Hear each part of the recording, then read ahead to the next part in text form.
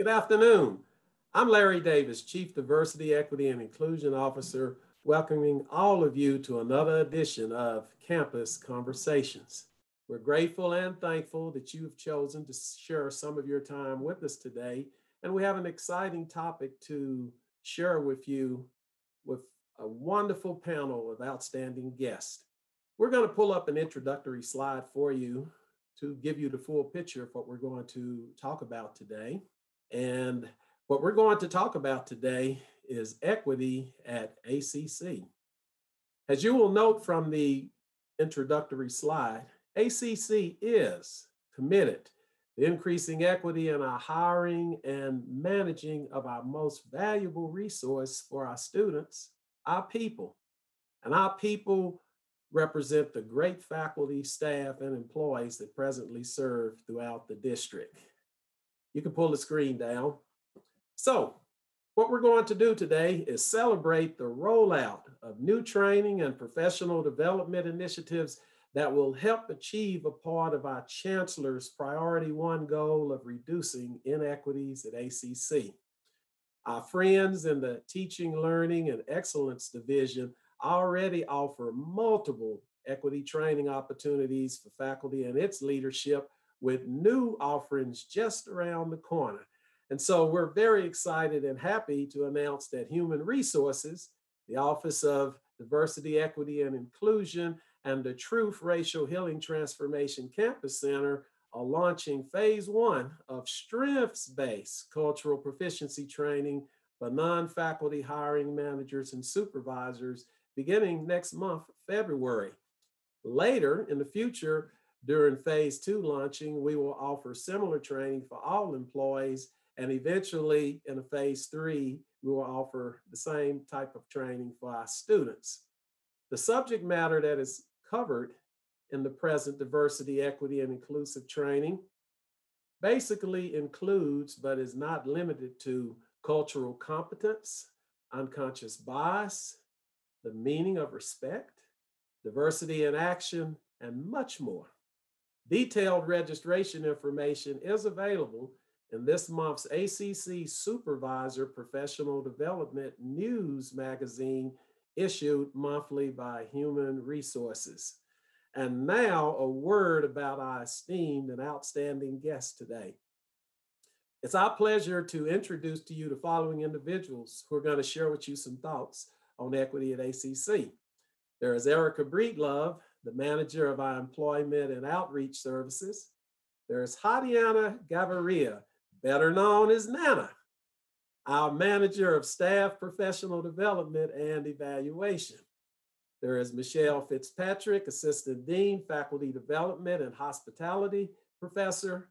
There is Ruth Reinhardt, our associate vice president, student support services and of course, our own Dr. Charles Cook, the ACC provost. Our guests will take about five, maybe seven minutes each to share their perspective on the equity training available and provided for Riverbats here at Riverbat Nation. So let's first begin with Erica Breedlove, who's going to give us an overview of equity training at AC. How about it, Erica? Thank you, Larry. And um, thank you. It's a pleasure being here. Again, my name is Erica Breedlove. I'm the Manager of Employment and Outreach Services in the Office of Human Resources. And I'm going to talk about equity training today at ACC, our vision for 2021, and the benefits that we expect to come out of it. Today, we are offering equity training to our faculty participants in hiring. Um, there's an equity tra um, training one two, and three. And let me kind of talk to you about how we um, got to the, the training, how the training was developed. Um, we have a equity and faculty hiring steering committee that is a tri-chair of our very own Associate Vice President of Academic Programs, Dr. Galen Scott, our Vice President of Human Resources, Jerry Tucker, and um, one of our full-time faculty history instructors and also serves as special assistant to our provost executive vice president who you will hear dr suzanne summers and they chair the steering committee that um, includes full-time faculty about 17 or, or 20 of us in various representatives throughout the college. And for the first year, in year one, this started three years ago, we literally took a look at the faculty hiring process and we looked at different steps and we revamped the entire process. The process was um, entirely um, based upon the feedback and the outcomes we were currently getting, not just in hiring, but our student outcomes. And then we also based our efforts in our participation in um, with a university, the University of Southern California Center of for Urban Education. Dr. Stella Bensimon Seal um, provided opportunities for various universities and colleges um, to participate in diversity and equity and inclusion training uh, as it pertains to hiring. ACC was one of the first to um, be recognized as one of the individuals who had already taken some steps. In year two, we were very well recognized and had the opportunity to participate in a grant in which we um, were awarded the Seal of Excellence um, in um, Excelencia um, for a Hispanic serving institution. And we've seen progress um, in our efforts.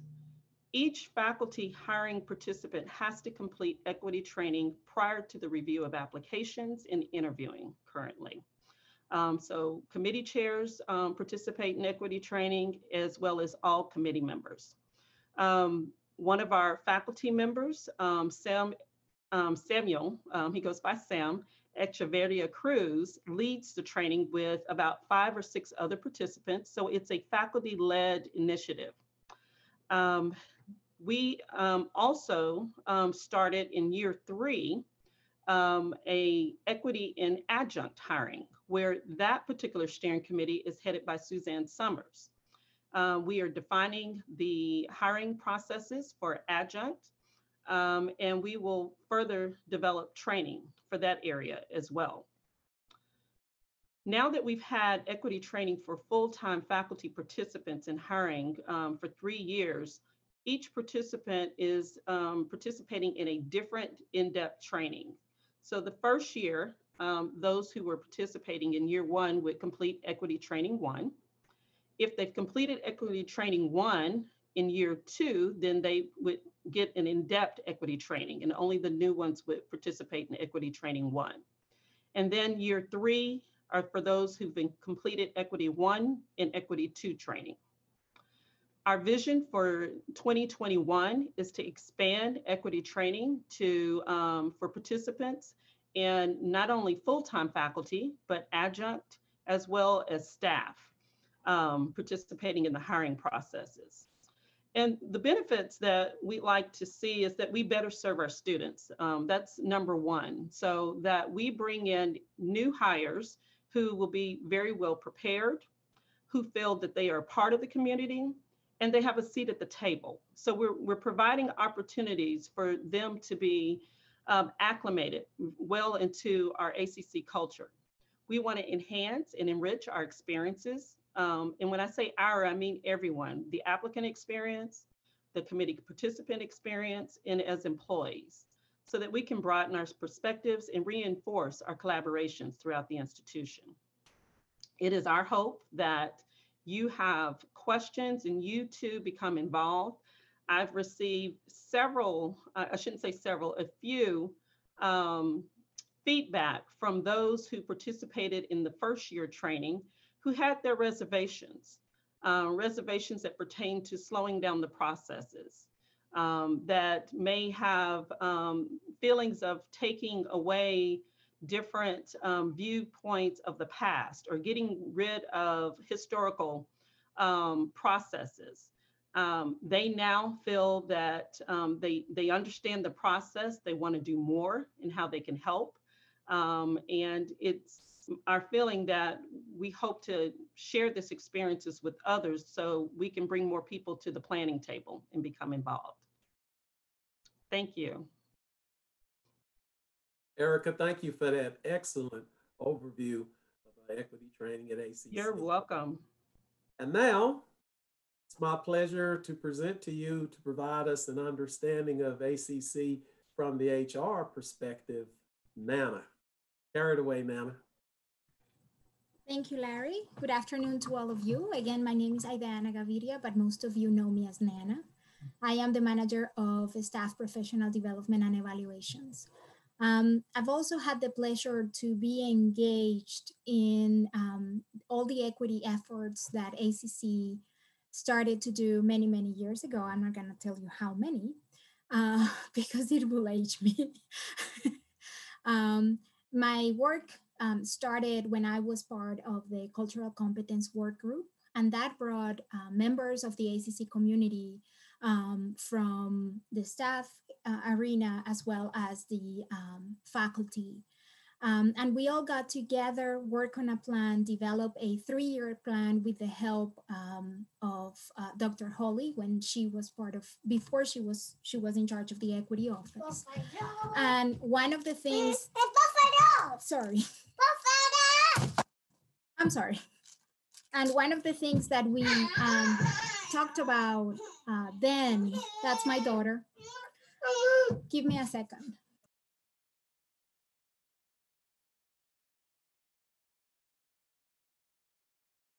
Sorry about that. She gets very excited like I do. Um, so at the time we developed a three-year plan and um, we worked systematically with faculty, with the staff. We never got to work with the students and that was something that we always wanted to do. But at the end of that plan, we made a presentation to the administration and one of the recommendations was that we um, created an office of equity. Dr. Cook was around, he was a great supporter and here we are. So at the time when that happened, I thought it was very important that my staff and myself would take a look at the different professional development offerings that we were putting out there for our employees and try and identify the gaps that we had in terms of equity. So the first thing that we did was to look at our signature signature programs that we have in terms of development um, and then start incorporating equity as part of that development. So the first program that we that we did that for was the supervisor certificate program. So whenever our future supervisors who are part of that program, uh, when we talk, I'm sorry, when we talk about the competencies that we want to develop, one of them is equity, and we dedicate time to talk about that. And whenever we have, whether they are internal or external speakers talking about the other competencies, we mention to them what we want to, that we want them to bring their perspective in whatever they're talking about that has to do with equity. Because at the end of the day, um, our big objective is that equity becomes part of the fabric of ACC. So whenever we're uh, communicating, whenever we are making decisions, we have that equity lens in mind um, so that it help us to become better professionals and to serve better in my case my employees but also um, so that my employees can serve better the students. Uh, then we introduce equity into the leadership academy when we um, uh, took over that particular program. We now have program developments a program development for administrative assistants and equity is a big part of it um, last year, when Larry took over the equity office, uh, we immediately got in touch with him because we knew that it was time for us, uh, knowing what the chancellor priorities were, to start developing a plan and collaborating with his office um, to provide equity training to all of our employees in a more consistent basis. We were doing it before, but it was on a request basis through uh, our customized training um, program that we have. So we were able to support various departments whenever they need, whenever they needed equity training. Um, thankfully, now that Larry is here, we have a plan and we're going to start, as he mentioned, deploying training next month for our supervisors. So we are very excited about that. We're basically having trainings throughout the year. All of them have been uploaded to the professional development database. So I suggest to all the supervisors um, to start um, looking into those, picking the best day and time that works for them um, so that we can start this particular work. And then it is also very important because um, my office is also involved in the training process for the staff um, in regards of the three C's initiative. So again, what we want to do is ingrain the equity work in everything that we do at ACC.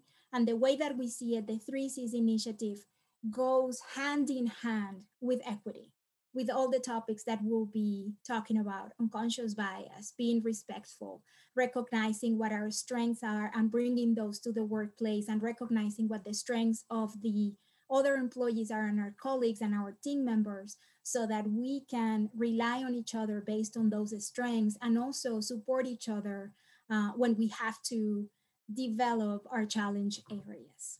So that's where we are. My team is very excited to be collaborating with Larry. We'll continue to do customized training in case somebody wants um, some additional training for their team. So we are just basically here to support you. Thank you, Larry. Thank you, Nana. We appreciate the home run that you and your beautiful daughter just gave us from those wonderful insights. And It's- now it's it's my pleasure Pandemic. to uh, transfer it over to one of our other great partners from to give us the T-led perspective, our own professor and our friend Michelle. Come on, Michelle. Well, thank you so much, uh, Larry, for having me, and good afternoon to everyone. I'm really excited to spend this short period of time to share with you some content on the work that we've been doing on the faculty side, which really mirrors a lot of the things that Nana just shared as well, and sharing with you some updates of what's coming soon as too, which are great partnerships with folks like Larry and Kyrie.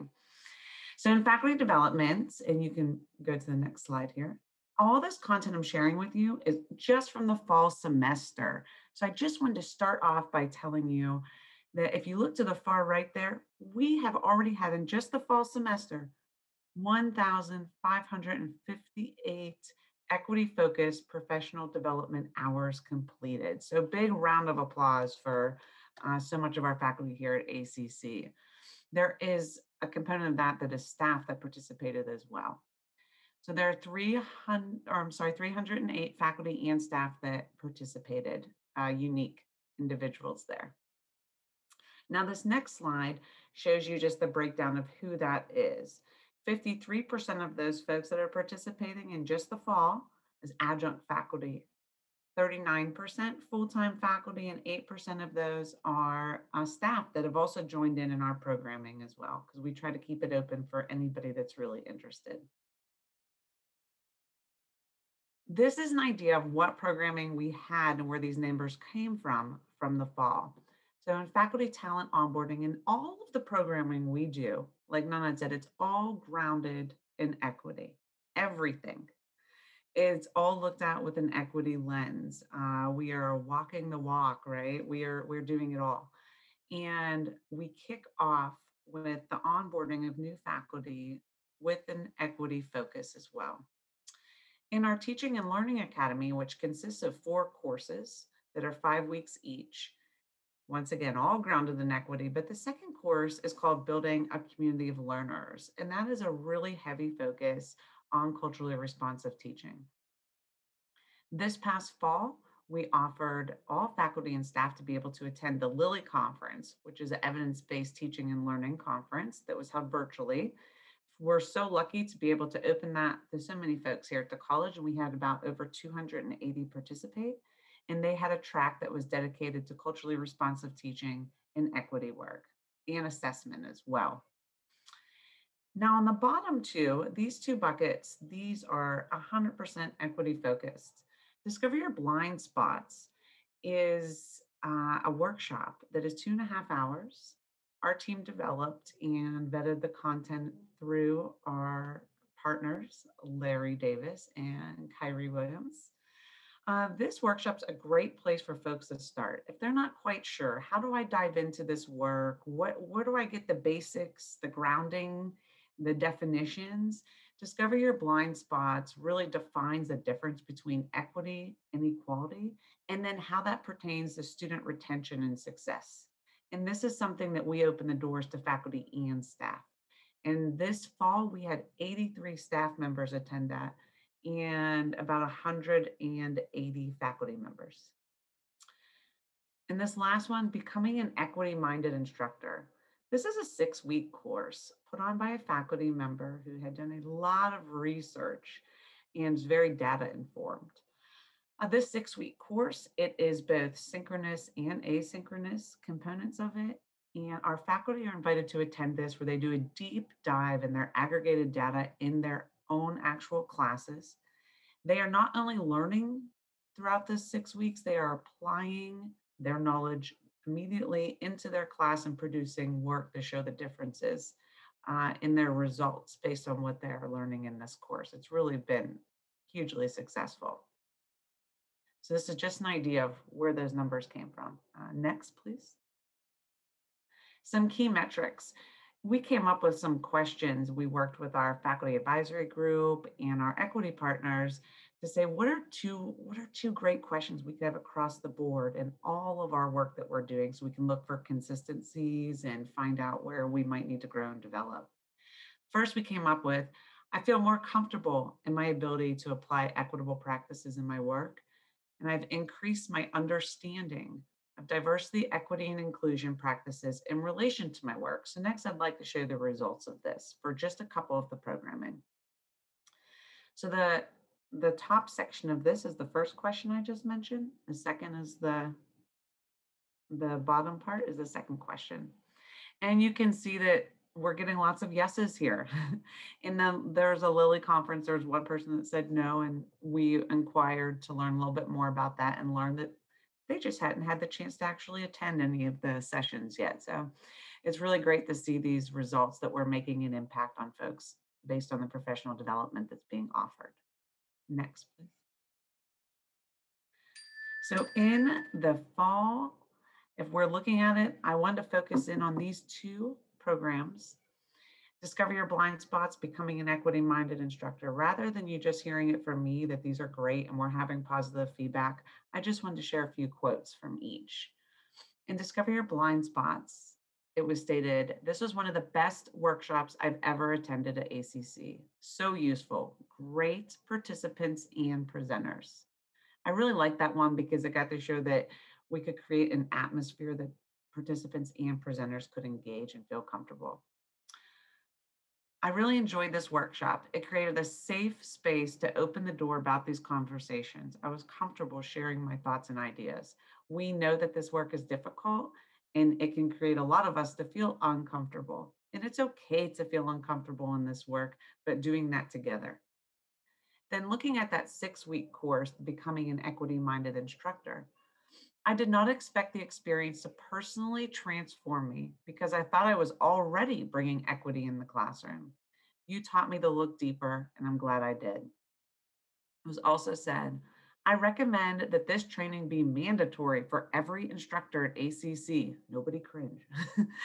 it will be oh, it will open the possibilities to have more successful students and will increase our graduation rates. Next. And what we have moving forward this spring, we're very excited uh, to be working with our Chief Equity Officer, Larry Davis, and the Director of our Truth Racial Healing Center, Transformation Center, Kyrie Williams. It's a mouthful there. And we're really excited that we're working with them to develop part two and part three of our workshop series. This will be a certificate, starting with Discover Your Blind Spots, that's already had 181 participants on the faculty side. Next one will be Sustain the Conversation, keeping the spotlight on race, and that rolls out this February. And third workshop is in development. It will be out in the summer or the fall, and we welcome all faculty and staff to join us in these workshops. This is just a very short update on what we've been doing just this fall. It doesn't even include Spring Development Day that had an entire track dedicated to equity, inclusive assessments, and more. Uh, but we just wanted to give you a quick update as to what's going on and what's coming soon. And if you ever have any questions, please do not hesitate to reach out to facdev at austincc.edu. Thank you so much for having me here. I really appreciate it.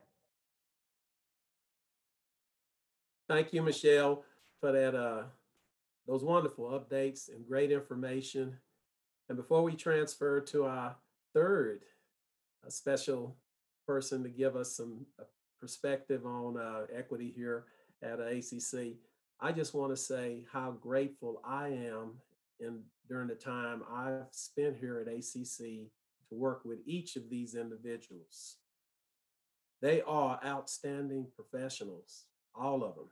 And you can trust them to give you the very best that they have to offer with their expertise. And so I want to encourage people in Riverbat Nation to work even closer with all of the individuals on this panel today. And with that, we want to ask that uh, Ruth would give us the student affairs perspective on uh, equity training at this time.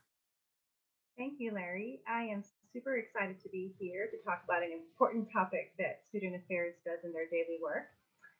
Uh, I am Dr. Ruth Reinhardt. I'm the AVP of Student Support Services, and I've been at ACC almost 15 years and served in the roles of a counselor and student services dean. As a first generation student, I am so passionate about the challenges that underserved students face.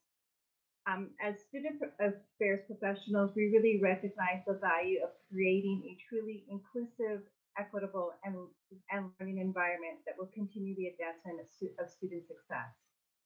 We recognize that equity needs to be part of every conversation we have about the future of our students and our work with each other. Through equity training, we are really able to look at opportunities for growth so that we can create an environment where we can address the needs of our, of our diverse student population. So how do we address those demographic disparities in student affairs? We really are looking at how we better serve students by evaluating our current policies, practices,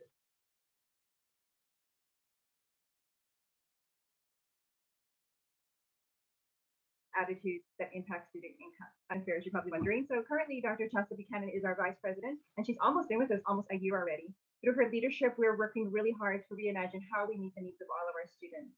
We provide a wide array of exemplary programs to support the teaching, learning process, and increase opportunities for students to define and reach their educational and career goals. Our area includes enrollment management, led by Dr. Melissa Curtis, um, student engagement by Dr. Willie, uh, who's led by Dr. Willie Martinez, student accessibility and social support services by um, Stephen Christopher, and then my area. I personally would love to share uh, to share a wonderful story that I had the opportunity to work with um, with Larry Davis and Kyrie um, Williams regarding the um, strengths program that is what was available to us. And we took advantage of working with Kyrie and Larry with my team and really, really digging deep into a safe environment, into what our strengths were, where our biases were, um, and so we could kind of transform that into our work with students. It was very impactful. I think um, my team was a little surprised at the outcome of that. And I will say that um, after we finished our, our training session with Larry and Kyrie, many of my team members said, how can I get my team to do it? Because they really learned a lot. And it really helps us to look at our biases. How can we improve um, and in our work with students? And that's at the core of what we do in student affairs is really how can we really make ACC a safe place for students so we're including the needs of our students that are so unique and diverse um, and I am so proud to be part of ACC, the organization that is really, really putting this to the forefront. I know um, when Larry just started at the organization, I know he said we're ahead of the game. And I'm so proud that we are taking this as a um, it's a chancellor priority, and I am proud that Student Affairs can be part of this work, and that my teams, all, all of Dr. Buchanan's team, is really committed to this training and looking forward to the opportunity to work with you and everybody across the college um, on equity issues. So if you have any questions about the, the general equity strengths training, let, please let me know. I'll be glad to give you my input. It was a wonderful um, opportunity for my team. And I think that your team can learn a lot from that as well. Thank you.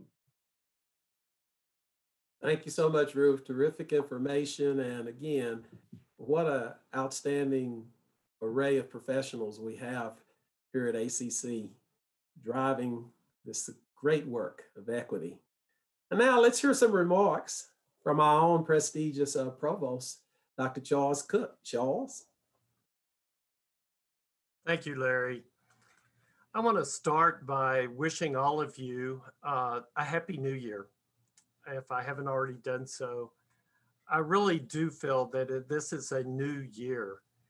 Uh, we've gone through quite a turbulent period in our history. It's been several years, I think, that have been marked by extreme uh, divisiveness, this horrific medical pandemic we have that has resulted in the loss of over 400,000 American lives. It's, it's just almost inconceivable.